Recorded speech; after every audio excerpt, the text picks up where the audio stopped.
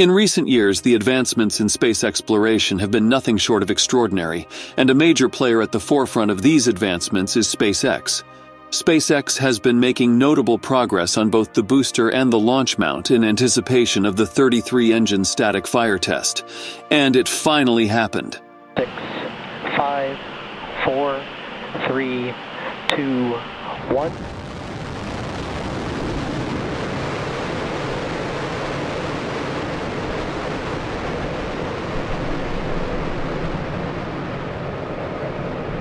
Last week, Starbase was a hub of activity. Booster 9 was mounted onto the orbital launch mount.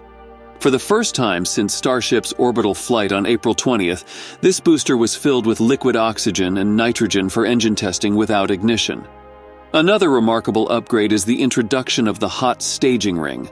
Positioned atop the Super Heavy booster, this device acts as a shield, safeguarding the booster from exhaust and force when the second stage engines activate.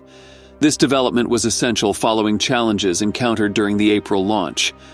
The hot staging ring is nearing its final developmental phase, and yesterday SpaceX lit up all 33 engines of the Starship in an impressive test that came after the integrated flight test. The test day began with the team at SpaceX commencing the fueling process in the early morning hours. The rocket was to be filled with its necessary fuel, a mixture of liquid oxygen and methane, to prepare for the big test. During this complex fueling procedure, a problem was identified with the cooling lines. These lines are essential for keeping the rocket's fuel at the correct temperature. If the fuel were to become too warm, it could cause problems during ignition. Recognizing the urgency of the situation, a specialist team known as the Red Team was called in. These experts were tasked with identifying the issue with the cooling lines and fixing it on the spot. The Red Team worked for several hours, inspecting the cooling lines and carrying out the necessary repairs. Once they were confident that the lines were functioning correctly and the fuel was being kept at the proper temperature, the fueling process was resumed. Before proceeding further, the team took extra time to ensure that the fuel lines were adequately chilled. This step was vital to guarantee that the fuel would remain at the right temperature until the moment of ignition, ensuring a safe and successful test. A magnificent sight followed. Finally, all 33 of the Raptor engines roared to life. It was, however, not without hiccups. Four of the 33 engines, for reasons that would later be analyzed by SpaceX's team, did not sustain their burn and shut down earlier than expected. This meant that instead of a full 5 second burn, the test concluded in just 2.74 seconds. For any other industry, a problem like this might be seen as a big mistake. But when you're building rockets, even the tiniest mistake can lead to big problems. So the fact that 29 out of 33 engines worked perfectly is really impressive. While everyone was excited about the loud noise from Booster 9's engines yesterday, another significant event unfolded at the launch pad simultaneously the water deluge system. A critical part of modern rocket launch infrastructure, this system plays a pivotal role in ensuring the safety and durability of the launch pad. Only a week prior, on July 27th, SpaceX had showcased this system in all its glory at their Starbase facility in Boca Chica. We all witnessed an awe inspiring sight vast amounts of water shooting upwards from below the orbital launch mount, forming a towering fountain that lasted for about 40 seconds. While this alone was a magnificent display, the true capability of this system goes far beyond this test. It's believed that during actual Starship launches, the system could unleash a staggering 350,000 gallons, or 1.3 million liters of water, making it an integral part of SpaceX's ambitious plans. The primary function of this water deluge system is twofold. Firstly, it absorbs a significant chunk of the intense exhaust heat and force from the rocket's engines, protecting the launch pad from potential damage.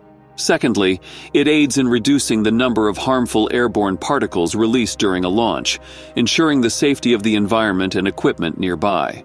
During yesterday's engine test, the efficacy of this system was evident. Instead of the typical dust cloud that is often associated with static fire tests, a vast steam cloud emerged and quickly dissipated. The sheer power that 33 engines can produce has been a subject of speculation for a while. Musk's reference to a rock tornado during a previous test flight highlights the challenges. The forces generated had sent concrete and debris thousands of feet into the air, causing extensive damage to the surroundings. The introduction of steel plates and the new water deluge system is SpaceX's answer to handling these extreme forces, and this test was the first real world application. SpaceX's next step is gearing up for Starship's much anticipated orbital flight test. Musk had stated that the second orbital launch could be as soon as the end of this summer. However, recent developments from the FAA cast a shadow over these ambitions. Three months after SpaceX's initial Starship launch ended in a dramatic explosion above the Gulf of Mexico, the company has yet to submit its concluding accident report to the Federal Aviation Administration. This crucial document is key to the investigation, and its absence indicates that the Starship program remains, for now, grounded. This further implies that a second launch attempt this summer is becoming increasingly uncertain.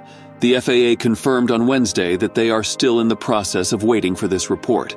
This document will dictate the corrective measures SpaceX has to undertake before they are granted another launch clearance from their Boca Chica site. The FAA spokesperson didn't give a clear date for when things might move forward. They said that SpaceX still has things to do to ensure everyone's safety, and that will decide how long everything takes. This is making everyone, especially SpaceX fans, pretty anxious and eager to see what happens next. But we should remember that with big new projects like this, bumps in the road are expected. The rigorous checks and the need for corrective measures are all in the interest of safety and long term success. But beyond the technological advancements, Starship's success or failure has larger implications.